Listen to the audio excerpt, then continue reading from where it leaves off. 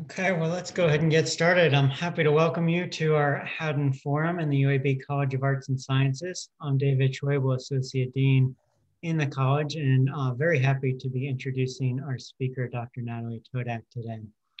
Uh, before I uh, introduce Dr. Todak, let me briefly mention that we uh, this is the last forum of the fall semester. We will have two Haddin Forums in the spring semester. On February 12th, Dr. Miles Moody from the Department of Sociology will be talking about race and discrimination. And on March 12th, Dr. Magda Slavarsky uh, from Sociology will present uh, some of her very recent findings on cultural differences in the COVID-19 pandemic and how people in different cultures and countries uh, have responded. So today I have the privilege to introduce, uh, I think, one of our real rising stars in the UAB College of Arts and Sciences, uh, Dr. Natalie Todak. Um, Dr. Todak earned her bachelor's uh, degree from UCSD and then moved uh, across the country to Bowling Green, where she earned her master's in criminal justice. And then she uh, moved back west to Arizona State and earned her PhD in criminology and criminal justice. Uh, she spent a year briefly at Washington State University and then uh, moved here to UAB to join our faculty in 2017. Uh, since joining the UAB faculty, I can say Natalie has published and published an awful lot. Uh, I, I counted 17 peer-reviewed papers in the last three years uh, since joining our faculty, which uh, many of you know is, is really quite remarkable.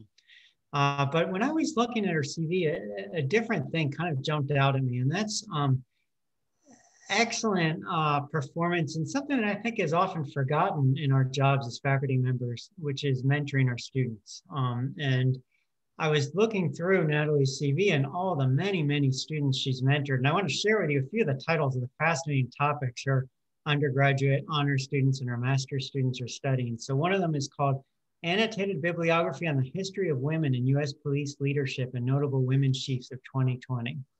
Another one, understanding and improving the police response to suspected cases of human trafficking, uh, perceptions of the police by queer women, de-escalation on paper but business as usual, qualitative analysis of police use of force policies. And I think we'll be hearing some of those themes in her talk today. Uh, as you might guess, Natalie's research focuses on really cutting edge topics in criminal justice and policing, uh, topics like evidence-based policing, diversity among police forces, health and wellness among criminal justice professionals. She's one of those rare researchers that, that pulls off using mixed methods, both qualitative strategies and quantitative strategies to seek answers to her scientific questions. So with that, I'm happy to introduce Dr. Natalie Todak, Body-worn cameras and police accountability, high hopes, lackluster evidence. Thank you, Dean Schwebel. Um, and can you hear me okay on your end? Yes, we're good. Right. Thank you so much for those kind words. And hello, UAB community and members of the public listening today. I'm grateful to have been selected to give one of the Haddin lectures this semester and to have the opportunity to share my research and ideas with you all. Uh, as the dean said, I'm Natalie Todak. I'm an assistant professor of criminal justice here at UAB, and my research is focused on a variety of issues in US policing. And today I'll be talking to you about body worn cameras and police accountability, and just a couple notes. One, um, body worn cameras are often designated as BWCs throughout the slides. And I'll also be kind of giving the signal to the dean to switch the slides because I um, apparently couldn't figure out the, the technical difficulties on the doing the, the dual screen. So uh, I'll just say next slide, please. And uh, uh, we'll get started here. Okay, so next slide. Um, just to give you a quick idea of my experience in the subject area of police body worn cameras, I've assisted or led on projects investigating the effects of police body worn cameras in seven different police agencies um, in different areas of the United States, ranging from Los Angeles to Washington State and Arizona, and also right here in Jefferson County, Alabama. I've also evaluated the diffusion of body worn camera technology across the United States and I've used body worn camera video footage as data to facilitate research on other policing topics, such as use of force decision making and de-escalation. Um, next slide, please. I'm going to begin this lecture by giving an overview of the circumstances in which police body worn cameras spread across the United States over the past five years. Next, I'll talk about the impressive body of research that has generally done well to keep pace with the rapid diffusion of the technology. And I'll give you some idea of what the evidence is telling us so far. And finally, I'm going to situate body worn cameras within the larger discussion of police reform and accountability that I'm sure many of us are aware is going on right now in this country. Um, slide, please. Police body-worn cameras are part of a larger trend in American law enforcement to adopt state-of-the-art technological in innovations to do things like facilitate or minimize the use of force, like tasers, to aid in criminal investigations, like DNA testing, and to increase police efficiency, like hotspots analyses and CompStat. Body cameras are also compatible with the growing practice among many citizens to rely on video cameras to serve as checks on police behaviors. This is most evident through the use of cell phones, but also through demands that agencies release video evidence from CCTV, dashboard, or surveillance cameras in the aftermath of a critical incident. Some courtroom actors are also reporting the emergence of a new CSI effect among jurors who have grown to expect video camera evidence and sometimes refuse to render a decision in a case without it. With this information alone, it should come as no surprise that body-worn cameras proliferated as fast and as far as they did. Body-worn cameras were already emerging on the law enforcement landscape in the United Kingdom and in Australia as early as 2005, and were introduced in the US and Canada in 2010. Media attention to the new technology began to surge as early as 2013 prompting about one third of all police departments in the United States to adopt body worn cameras by that year. Slide, please. However, interest in body worn cameras skyrocketed in the aftermath of the summer of 2014 when our nation's long underlying history of racial tension between police officers and marginalized communities came to a head once again when Officer Darren, Wilson of the Ferguson, Missouri Police Department shot and killed Michael Brown, an unarmed Black man who was accused of shoplifting. No video was taken of the fatal shooting. The events that took place were hotly contested, and ultimately, anti police protests and riots erupted across the country. Brown's death and a series of other highly controversial deaths in police custody, including the more recent deaths of George Floyd and Breonna Taylor this summer, have collectively sparked the most intense and polarized social debate over police reform since the civil rights era, save for possibly the videotape beating of Rodney King. The 2020 Gallup poll on confidence in institutions observed the lowest levels for police since they began collecting these data in 1993, with 59% of white respondents and 19% of Black respondents expressing confidence in police. It is very clear that policing, race, and the use of force are some of the defining social issues of our time. At the same time, the job of the police officer is growing increasingly more stressful and challenging. An unclear professional mandate results in the police being increasingly called upon for all forms of complex social issues that have no immediate resolution and for which they have not been sufficiently trained. Police today are routinely called on to resolve parenting disputes and domestic disagreements. They're asked to fix poverty, mental illness, addiction, suicide, respond to riots, hostage situations, and even mass and school shootings, to name only a few. Combined with intense social criticism and a widespread resistance amongst cops to seek help, the field of law enforcement is facing a devastating hiring crisis, a growing rift with the public, an epidemic of officer suicides, and of course, a widespread social movement demanding police reform. Next slide, please.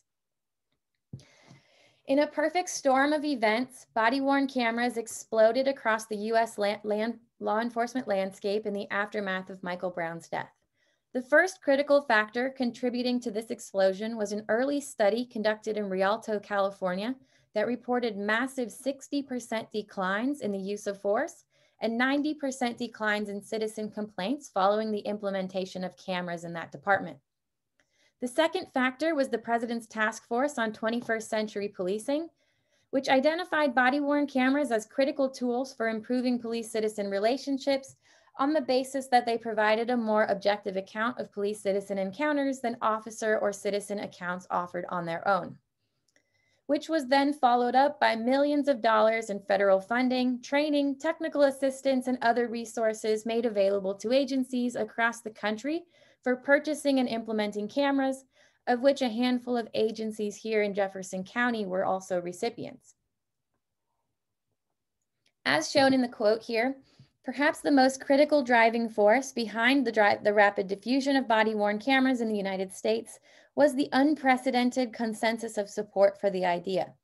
Communities, in the midst of the growing crisis between cops and citizens, were demanding that their local agencies do something to show they were trying to change. By and large, one of the biggest demands was for body-worn cameras, compelled by high expectations that they would accomplish a slew of positive effects. Police agencies simultaneously sought out ways to show they were listening to the people, and body worn cameras represented a tangible option that did not fully transform the way policing was already organized and performed. By 2016, the Law Enforcement Management and Administrative Statistics Survey reported 50% of all police agencies had fully adopted body worn cameras, including between 60 and 80% of large agencies. In other words, the number of agencies that had fully acquired body-worn cameras doubled between 2013 and 2016. The LEMAS report also found almost 90% of the agencies had already implemented formal body-worn camera policies, signaling that body-worn cameras had been fully institutionalized into their general operations. All signs pointed to body-worn cameras as the new reality in 2016. Next slide, please. Communities were optimistic that body-worn cameras would increase transparency of policing behaviors and police-citizen interactions, improve citizen attitudes towards and trust in police, civilize police interactions in ways that would reduce conflict, use of force, and unnecessary deaths in police custody. Others predicted that body-worn cameras would improve justice and court case outcomes with the availability of high-quality video evidence, and it was believed that body worn camera video would offer unprecedented opportunities for police training and academic research. While there were certainly concerns about body cameras, including whether their high costs justified their potential benefits, as well as their impact on citizen privacy in their most vulnerable moments, hopes were definitely high in 2015 and 2016 that body worn cameras could be the solution many people were looking for. Next slide, please. So I'm here to talk today about another anticipated benefit of police body-worn cameras, and perhaps the one that's most commonly discussed in the context of police reform. And that's the argument that body-worn cameras will contribute to societal and legal efforts to hold officers accountable in instances when they engage in misconduct. And this thesis has two components. First is the assumption that when they are aware their words and actions are being recorded, Police officers who are prone to misconduct will instead think twice about doing so. Thus, body-worn cameras could encourage officers to behave in ways that are more consistent with their organization's policies and in ways that are fair, just, and constitutional. For example, in an August 2013 ruling, Judge Shira Scheindlin argued that the use of stop, question, and frisk, as practiced by the New York Police Department, unconstitutionally targeted racial minorities routinely violating their Fourth Amendment protections against unreasonable stops and seizures, and their 14th Amendment rights to equal protections under the law. She cued in on officers' common justifications for conducting the stops, which often included um, explanations like furtive movement, bulge in pocket, high crime area, and looking out of place and which ultimately resulted in very low hit rates for weapons, drugs, and other evidence of criminal behavior to the tune of only about 10%. Important for our discussion, in her ruling, the judge called on the NYPD to adopt body-worn cameras to remedy the problem of racial profiling in their decisions to stop, question, and frisk. The tacit assumption in the argument here is that when they are aware they're being recorded, Police officers will only stop, question, and frisk individuals when they have a compelling reason to suspect that a crime is being or was committed. The second assumption is that body-worn camera footage will aid in discipline and or prosecution efforts when officers violate policy or the law. Most of us are aware that the last eight minutes and 46 seconds of George Floyd's life were recorded by bystanders on cell phones and uploaded and immediately viewed by millions. But as we also know, there are limitations to relying on smartphone video to serve as checks on police behavior. For one, they require a person to register that a critical event may be occurring, to retrieve their phone, and then to begin videotaping. For this reason, when a viral video involving the police emerges, we often hear the argument that we don't know the full story, particularly the part that happened before the video started. We don't know what prompted the particular police response, maybe the person shot at them first, etc. Basically, a cell phone video very rarely shows the full story and often fails to clearly establish if the police were in the wrong or not. In the case of George Floyd, the Minneapolis officers recorded body-worn camera video from the moment they accepted the call from dispatch. Derek Chauvin is being charged with second degree murder, which applies when someone is believed to have intentionally inflicted bodily harm, which unintentionally caused death. And what the body camera video could potential could potentially offer to the case here is a specific portion of audio in which we can hear one officer advise him that he should probably turn Floyd over because he was, quote, worried about excited delirium. This new evidence recorded by body worn camera in the immediate proximity of Chauvin as he was kneeling on George Floyd's neck is potentially revealing of whether he intended to cause bodily harm. This case is just one of many examples of how body worn camera video could influence or at least contribute to efforts to prosecute or discipline officers when they are accused of wrongdoing. So just to recap, the hypothesis that we're diving into today is twofold. First, that the presence of a camera will encourage proper behavior. And second, that the video will assist in holding officers accountable when they commit misconduct. As I'll make clear later on, the research testing this hypothesis is unfortunately almost non-existent. But before we dig in and investigate that problem and the merits of the accountability hypothesis, I want to first step back and talk about the body, the body of research on body worn cameras and give you a sense of what the evidence is telling us so far. Um, next slide, please. Because body worn cameras were rapidly adopted in response to a nationwide policing crisis, they were initially implemented in a low research environment. And this is a short way of saying that agencies were spending thousands and some even millions of dollars on body camera programs without proof they would produce the intended effects and were equipping officers with new technology with no policy guidance and no sense of whether it might pose unanticipated or harmful consequences. For example, the Ferguson, Missouri Police Department announced their officers were wearing cameras less than three weeks after the fatal shooting of Michael Brown. The prospect that cameras were spreading like wildfire, either on the agency's own accords or in response to pressure from city government and from communities, with zero information about their potential impact was frankly a bit scary for academics and for other interest groups. However, it's also evident that this fear lit a fire in researchers and also in funding sources, because today, just six years later, there are over 120 confirmed peer-reviewed studies on body-worn cameras, and that's probably closer to 150 here today in November of 2020. What's more impressive is the fact that a significant portion of these studies use rigorous randomized controlled trial designs, which is considered the gold standard in evaluation research, and which for various reasons is very uncommon in policing research. In their meta-analysis of research testing the impact of body cameras on police and citizen behaviors, Lum and her colleagues found that two thirds of the studies they reviewed had used an RCT design. They compared this body of work to research on license plate readers, which also experienced a rapid diffusion across US law enforcement in the early 2000s, but it has to this day only been evaluated a handful of times. Um, next slide, please. The body of research shows high levels of acceptance from police officers, with qualitative research telling us that police think cameras protect them against unfair complaints and disciplinary inquiries, and are generally helpful in report writing and for showing what they saw in a particular situation.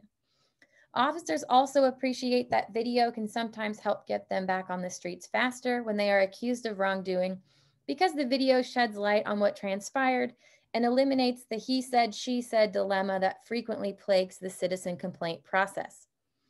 Body worn cameras are also generally supported by citizens, with even those who are most supportive of the police feeling that cameras will show officers doing a great job and potentially ease some of the criticism directed at them.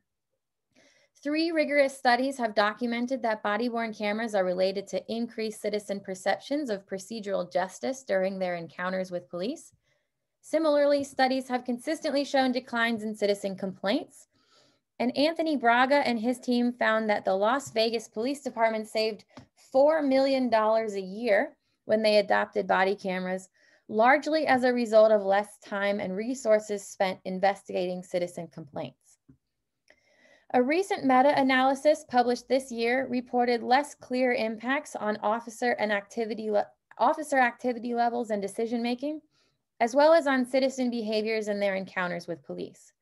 Body-worn cameras do not have a clear effect on officers' self-initiated activities or arrest behaviors, or on dispatch calls for service or assaults or resistance behaviors directed against the, the police. Thus, we can currently reject the hypothesized civilizing effect of body-worn cameras, which predicted significant declines in conflict between cops and citizens. And we can also reject the so-called Ferguson effect, which predicted that officers were becoming passive in their jobs to avoid situations where they might get in trouble, injured, or killed. Um, next slide, please. Studies examining the impact of body-worn cameras on police use of force also show very inconsistent results.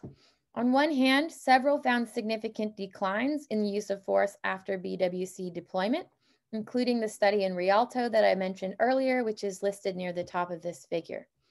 However, as you go down this figure from top to bottom, many others have found no significant relationship between body-worn cameras and use of force, and the direction of the effects in these non-significant findings are inconsistent across studies. Next slide, please. Experts currently disagree over how to interpret this evidence. In response to what they characterized as mixed and underwhelming results, Lum and colleagues speculated that we may have overestimated the potential impact of body-worn cameras, pointing to the fact that the push for cameras was initially motivated by hopes that police shootings and other forms of coercive force would go down. This disappointment has been increasingly shared by members of the public in recent years, especially following the highly publicized results of a randomized control trial conducted with over 2,000 officers in Washington, D.C., which found no change in use of force following the implementation of cameras. The authors concluded that society should, quote, recalibrate its expectations of body cameras' ability to induce large scale behavioral changes in policing. The study results were widely shared on national media platforms with one NPR headline arguing that, quote, having police officers wear cameras seems to have no discernible impact. Next slide, please. Other researchers paint a more optimistic picture in their interpretation of the evidence. Some have argued that the starting point and initial motivations for adopting a new body-worn camera program, as well as the level of pre-implementation planning that is undertaken by an agency, can significantly shape the impact of body-worn cameras on officers, agencies, and communities. Gaub and White pointed out that the Rialto Police Department had a rocky history leading up to their study, with several scandals and an attempt by the city council to shut down the department. The new chief, Tony Farrar, was hired in 2011 and implemented a number of reforms, including body-worn cameras, which led to the substantial declines observed in both use of force and complaints. Other agencies have taken steps to reform their agency prior to implementing cameras, with some implementing cameras following involvement in collaborative reform and witnessing more marginal declines in the use of force. The Washington, D.C. and LAPD departments were both under federal oversight through consent decree. And after 10 years of federally imposed reform, neither agency saw reductions in use of force when body worn cameras were deployed. Thus, agencies that have undergone significant reform efforts prior to adopting cameras will probably not see the noticeable declines in use of force that many people expect to see, while more agent, while more age, excuse me, while agencies exhibiting more problems with the use of force will observe more effects because they simply have greater room for improvement. Next slide, please.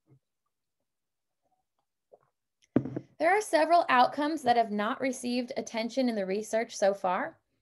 Significant for our purposes, there have been next to no studies examining the impact of body cameras on outcomes like racial disparities, police community relations, or police accountability outcomes.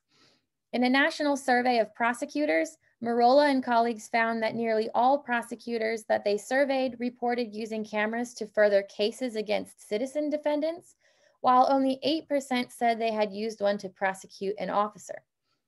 Thus, while we have minimal evidence, there is reason to believe that body-worn cameras are not being widely used for these purposes. Next slide, please.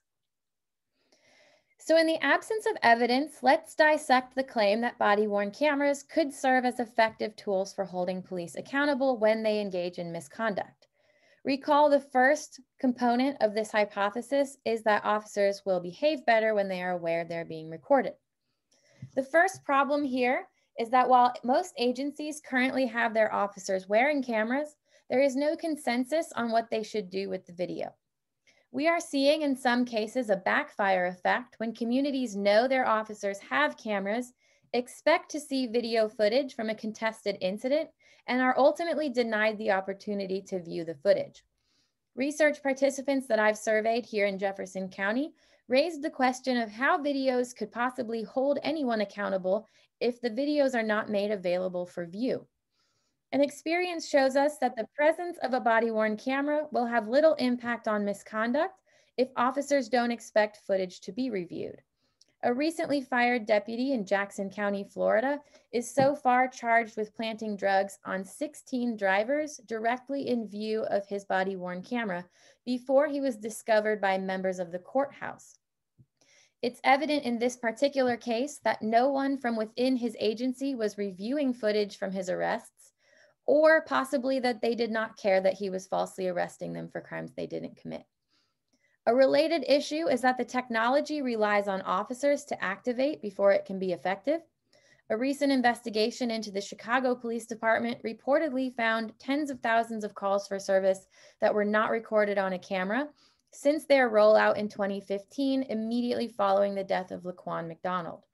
Importantly, these activation failures occurred despite a mandatory activation policy in the Chicago PD requiring all officers to record their every encounter with a citizen.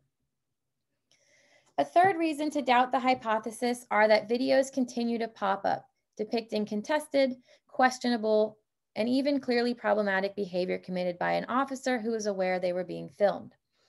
The fact that two body worn cameras and a number of cell phones were aimed directly at Derek Chauvin as he kneeled on George Floyd's neck did not appear to affect his behavior or decision making in that moment. Making this point, Erin Kerrison and her colleagues recently argued that civilians and officers alike have always known images of unjust state violence and the presentation of even the most damning evidence does not necessarily deter officers from violating constitutional protections or reduce the likelihood of them being acquitted when they do. Their study found Black Baltimore residents were not as supportive of body worn cameras as participants in other published studies. Some felt the videos simply contributed to the excessive con consumption and what one characterized as the fetishization of Black suffering in America with little obvious contribution to police accountability. And I think this point is connected with the flaws in the second part of the hypothesis, the idea that body worn camera video evidence will help in efforts to hold police accountable when they break the law on duty. The first flaw in this argument is the obvious one, Body worn camera video is not a perfect Hollywood movie industry quality 360 degree portrayal of what happened during any encounter. They fall off, they only show a single perspective, and we've already discussed the problem of activation failure, which results in no video at all. Moreover, if you've kept up with major cases in the past few years, you'll notice that people have very different interpretations of videos involving the police. And we know from research that the manner in which individuals are primed with pre-existing attitudes or via news media framing can significantly influence their interpretation of a particular video. More broadly, people have wide-ranging views on what they expect from members of law enforcement and with what they consider to be moral or just behavior. And most people are simply not well informed, either through an understanding of the law or of police work. Thus, even with concrete video evidence, we may not see body camera video being the great equalizer. Second, our legal system in this country is simply not set up to hold police officers accountable when they engage in misconduct. For example, the Supreme Court's 1989 decision in Graham versus Connor held that the use of force is justified if a reasonable officer at the time of the incident would have perceived an immediate threat of serious bodily harm to the officer or to the public, regardless of whether in hindsight the threat turns out to have been justified. The reasonable officer test takes into account the totality of the circumstances and leaves a lot of discretion to the officer in order to acknowledge the challenges and dangers that are inherent in the job of policing and to offer leeway given the difficulties of making life or death decisions in a moment's notice while under stress. We see a similar issue with the use of no knock and quick knock police raids, as some of us may have recently learned for the first time this summer in the case of Breonna Taylor, and as I learned reading the work of Dr. Hadar Aviram. The principle of announcement before entry is fundamental in our nation's laws for two reasons. First, to protect unnecessary damage of property, and second, to avoid the provocation of violence that may arise in self-defense by the surprised resident, to roughly quote Justice Scalia in Wilson v. Arkansas and in Hudson v. Michigan. However, in Hudson and also in Richards v. Wisconsin, the court opened the door for police to identify special circumstances in which they might decide not to knock or announce, ultimately offering police wide discretion to decide whether or not to knock. On this foundation, we saw the officer charged with the bullets that he shot into the empty neighboring apartments and not with the ones that entered Breonna Taylor's apartment and ultimately which caused her death. All this to say, police, or excuse me, people who expect to see their moral attitudes about what constitutes appropriate police behavior in a specific situation reflected in or vindicated by the law will often find themselves disappointed, video or no video. Next slide, please. Like most of the world's most complex issues, the path forward is paved with questions. We have a few that are fairly straightforward, but also some that are more complex and will require long-term, thoughtful, and deliberate effort and collaboration. However, as you'll probably have already begun to suspect, body-worn cameras are simply a tool to assist in efforts to address misconduct, but are certainly not a solution. I'm going to break my suggestions here out into those for researchers, for cops, courts, and then for people. Academics first should seek out evidence-based policies that dictate when an officer should activate their camera and what happens when they do not. We need evidence-based policies on video review and to identify effective disciplinary procedures for misconduct caught on video. And there is of course some work being done in this area as we speak. We also need evidence-based policies specifying if and when videos will be released to the public and this is something that I've been collecting data on here in Jefferson County.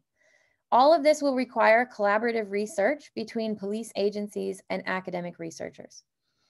As Sam Walker argued in his book, Taming the System, there is no single remedy to police misconduct. It is a highly complex issue that requires a multi-pronged approach and continuing analysis. Yet very few researchers have taken up a magnifying glass to study the problem since Walker published his book. And of course, there are exceptions, but for various reasons, including a hesitance by agencies to consent to research on misconduct and an unwillingness among academics to burn bridges with lucrative research partners, police misconduct is just not a highly common area of study. Perhaps then I might recommend that researchers need to find the courage to continue investigating the causes and forms of police misconduct and to continue to seek out effective mechanisms for curbing it. Police agencies, on their part, need to reckon with the critical importance of the task of rooting out misconduct within their ranks. Most importantly, they should acknowledge and work hard to fully dismantle the blue wall of silence that prohibits officers from informing on their peers when they observe actions that are counter to constitutional and ethical standards. The pattern and practice of officers covering up for each other and retaliating against those who make the decision to blow the whistle on misconduct needs to be laid to rest. As Sam Walker has frequently argued, the court system will need to play a fundamental role in remedying police misconduct, but has in recent years wavered in defining constitutional protections for individual rights and for requiring the appropriate remedies for violations, including the exclusion of evidence. Thus, until our courts take a stronger stand against police misconduct, officers will retain exceedingly wide discretion in making life or death decisions. And finally, to citizens, I argue that it is unreasonable to expect officers to behave in any specific way when we as a society do not have a consensus on how we want them to act. Our society calls on the police for any and all, excuse me, for any and all of our life's problems that we want someone to do something about right now, to roughly quote Egon Bittner. The police have no clear-cut role. What we perceive in what we perceive of as right or wrong is not always aligned with what is lawful, lawful or unlawful. Moral attitudes vary considerably across people, and a comprehensive undertaking is desperately needed to clarify or redefine the police mission and to lay out our specific expectations for what constitutes appropriate police behavior. Only then can we begin to identify areas for reform from recruitment and hiring to organizational policy and comprehensive accountability systems of which body-worn cameras will certainly play a role. In conclusion, Body worn cameras are not a silver bullet solution to police misconduct, despite initially high expectations that fostered their rapid diffusion across US law enforcement. They are not a crutch that we can lean on to hold police officers accountable when they violate our trust or the law.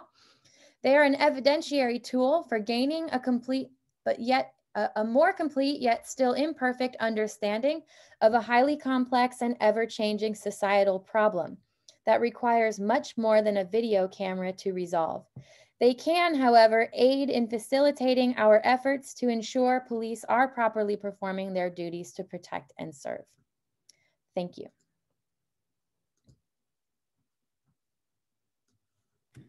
Terrific. Thanks so much, Dr. Todak. Wonderful talk. And uh, I'm sure that we have provoked some thoughts and questions. So as many of you who have attended Haddin Forums in the past uh, know that we, we really like to have some intellectual exchange and conversation now. It's a little harder on Zoom, but we uh, will manage our best. So I'm going to ask then, um, for those of you who, to, who have questions, to go ahead and type them into the chat box. And I will read and kind of monitor, and, and we can also unmute people for conversation if it makes sense. And maybe while some of you are thinking or typing into the chat box, I'll take the liberty of, of asking a first question. And, you know, Natalie, one of the goals of, of the Haddin Forum is to kind of exchange ideas across disciplines and across research areas. So when I saw your title, I didn't think there would be any overlap in my research area, which some of you know is in, in injury prevention, but something occurred to me and I'm curious to get your thoughts. So, um, once someone is injured, in some cases, the paramedics come. And uh, there's actually some evidence that paramedics don't always do the right thing when they reach a crisis, that they sometimes may provide the wrong medical intervention or, or, or behave uh, in, in, a way that actually harms the victim more than helping them. So I, I, guess my question is whether anyone's ever talked about body cameras on, on paramedics and if you think some of the lessons that we've learned from policing might apply to that domain. I'm not aware of any empirical research looking at that, but I do remember that was one of the major concerns that came up when agencies first started planning and implementing body cameras were the questions of you know recording medical conversations between um, you know people who had been injured and maybe HIPAA protected, and then there's the other concern. Officers are always walking in and out of emergency rooms, and should they turn on their cameras or should they keep it off? So I'm not aware of any research on, you know, for example, paramedics' experiences or attitudes with body worn cameras. But like anything else, um, you know, there's an ongoing debate about federal agents being recorded on cameras or medical professionals being recorded. Those are things that are those unanticipated consequences that re- that require more research um, to look at. Yeah, fascinating. Thank you. So let me turn to the chat box. You've got praise from a few people, but we do have a question here from John Latine, Latine, who asked, Dr. Todak, is there any research regarding the discretionary operation of BWC versus BWC that automatically engage? I don't know of any research on that topic, um, but I do know that um, the discretionary operation is probably preferred for cost saving reasons and for other practical reasons. Um, so as, as some of you may be aware, it costs millions of dollars for, you know, the medium to large sized agencies to store all of their video evidence that comes in and that they're required to keep for a certain amount of time. So the automatic um, activation, um, aside from you know possibility of of practical uh, you know malfunction will likely just continue to generate videos that then have to be saved on on a data platform and then i'm sure there are uh, unions that would you know push back on automatically uh, engaging a body camera for various workplace environment issues as well but no i'm not aware of research that looks at the difference between those two Good, thanks. Are there other questions? If you're more comfortable, I think our group is small enough that if you want to turn on your camera and wave rather than typing, I'm, I'm happy. I'm trying to scroll through some of the, the pictures here. And I'm sure there are body camera experts on here too that if they want to jump in, I'm happy to give up the the I see Eric Piza in here. He knows a lot about this as well, but Thanks, Eric. Or anyone else have thoughts to share? Go, go ahead, Eric. I was I was typing. Uh, I didn't have my camera on because my cat is doing what she does and getting in the way. Um, but since Natalie called me out, I'll stop typing and I'll ask my question. Um, Sorry about that. It's okay. Uma loves getting airtime, so it's okay. Um, so I, I, live in New Jersey, and the New Jersey state legislators actually considering passing some laws that would require pretty much most police departments in the state to invest in body cameras. Right. I, I, think it's like a certain threshold, but if you look at the population requirements, it would be, you know, the vast majority of, of police agencies would need to go down that road. So, in your opinion, given, given your background, um, given the cost associated, given how complex, uh, you know, the you know the, the the how complex it is to effectively deploy body cameras. What's your opinion on that kind of top-down forcing of body cameras? Do you think that's a good idea, a bad idea? Um, just interested in your perspective. Yeah, it's a complicated question because um, on one hand, you could imagine some communities just not not having not not seeing the benefit of spending all the money to implement cameras and then not seeing the benefits that we know are somewhat mixed in the research but in my opinion i view body worn cameras as a fundamental component of democratic policing, much like um, in you know including citizen input in your police decision making and, and so forth.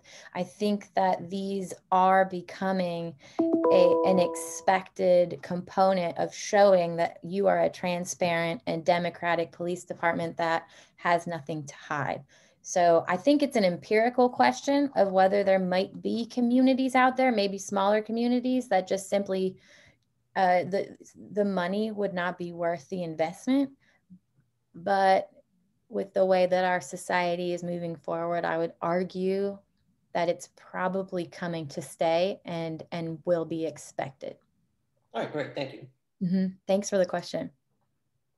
Yeah, thanks. So while, while we were talking, John uh, entered a response into the chat. He says, from a legal standpoint, it's that discretionary use of BCW, BCW is the real concern because of the failure to preserve such evidence. Excellent. So the, there's two other questions in the chat that I think are related. So I'm going to clump them together as one. So Mika Tamir in UAB Sociology Department asks, how does this research on body worn cameras compare to research on dashboard cameras? And then Catherine Danilo, Associate Dean, asked a related question. Are BWC replacing the car cameras?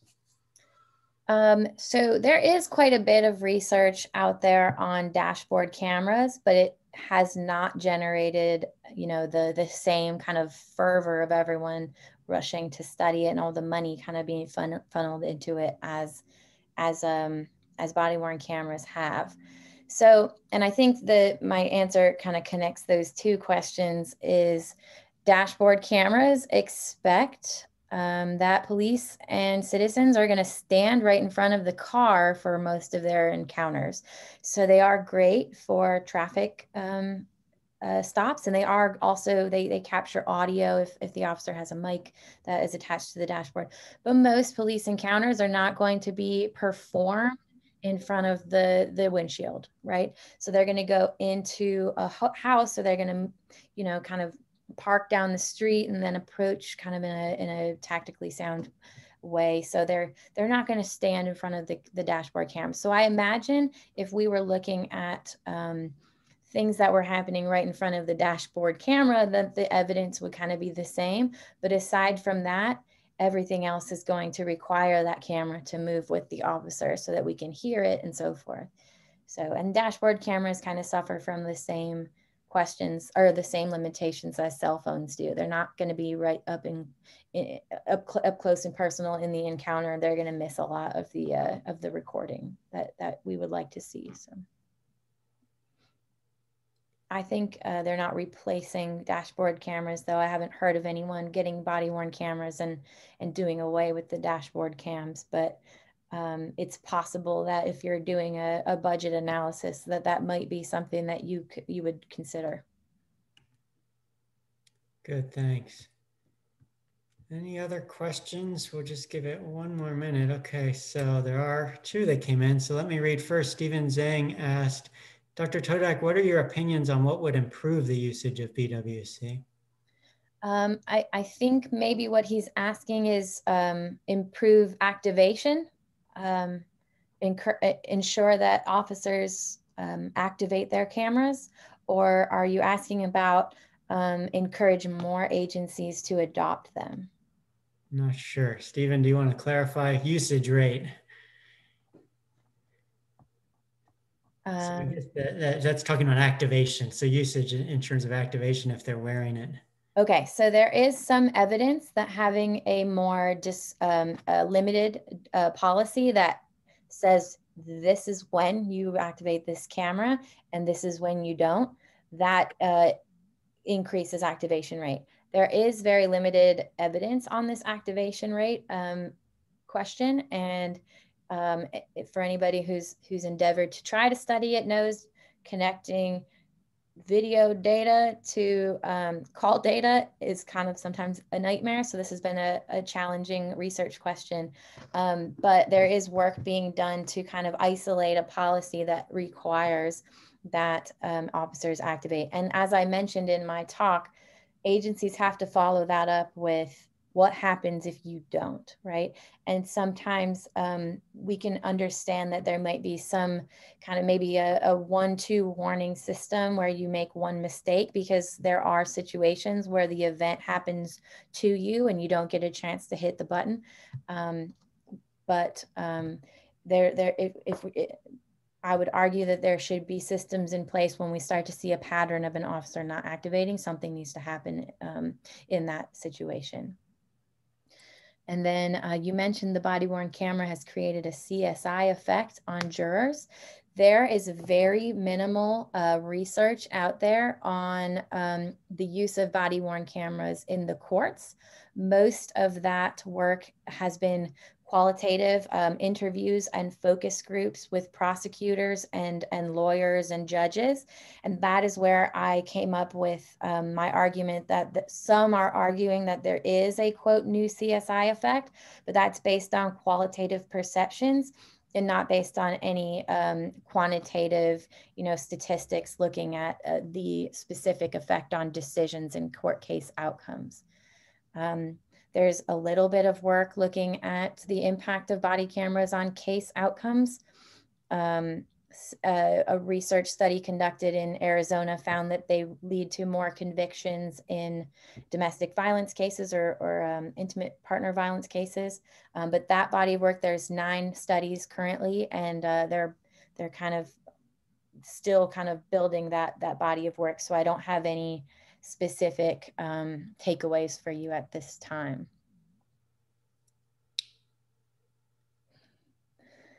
Um, I've got a private question here that says, what's the best way to set expectations for when to release footage to the public?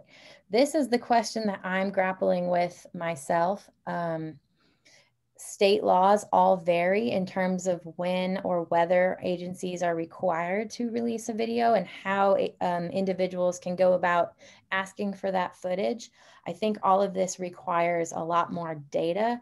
Uh, we need to know, you know, I think it's going to be a cost benefit analysis because on one hand, releasing a video too soon, there are issues with privacy, that are there are issues with um, inflaming public opinion, there are um, issues with um, affecting uh, litigation and due process.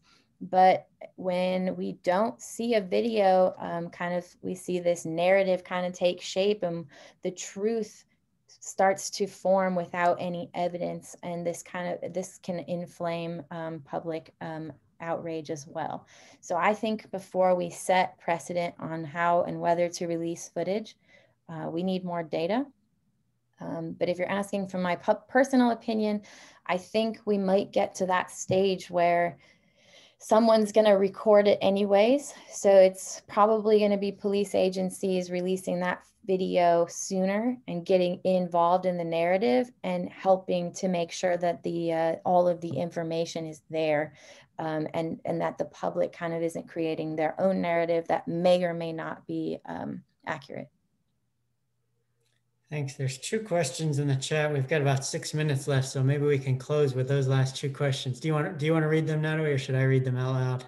Sure. Hi, Frank. How are you doing? Um, he says uh, his local department in New Jersey just purchased a system that activates the camera whenever an officer pulls the firearm. Um, if so, I, I, actually don't have a lot of information on these. I'm aware that they're being, uh, you know, pilot tested and, and things like that. I don't see a huge issue with that um, if it if it works well and doesn't, um, you know, uh, the only negative that I can see to that is if it doesn't work and then you have a shooting that didn't get recorded um, because the officer is relying on that that uh, system to automatically record.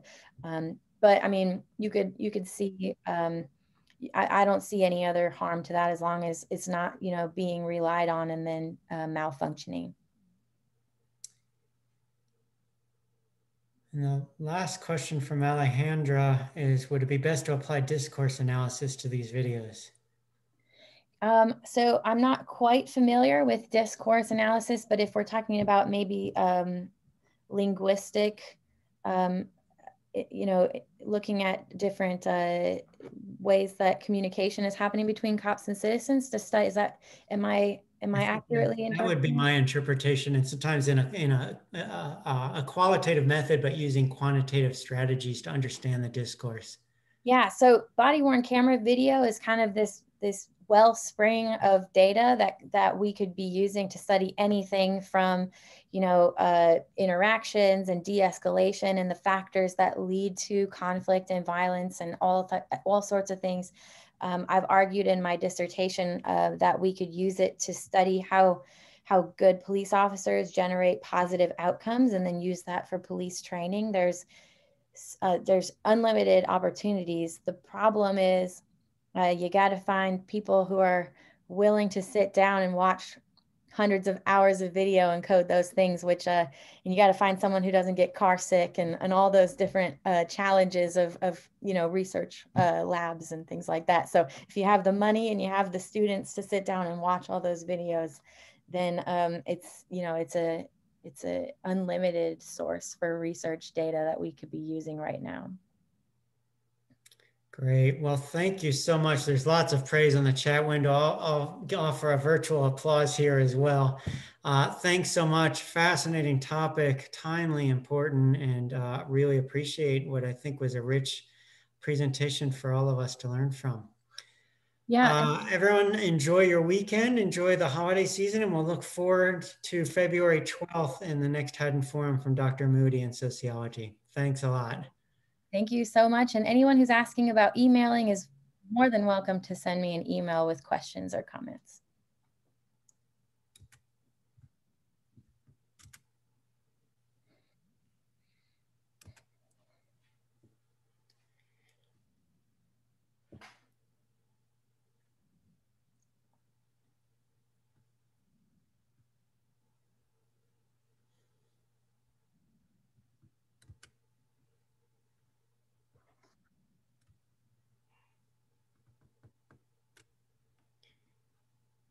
Great. Thanks, Natalie. I think we've got a few holdovers, but I am going to uh, log off here and uh, I appreciate a great talk.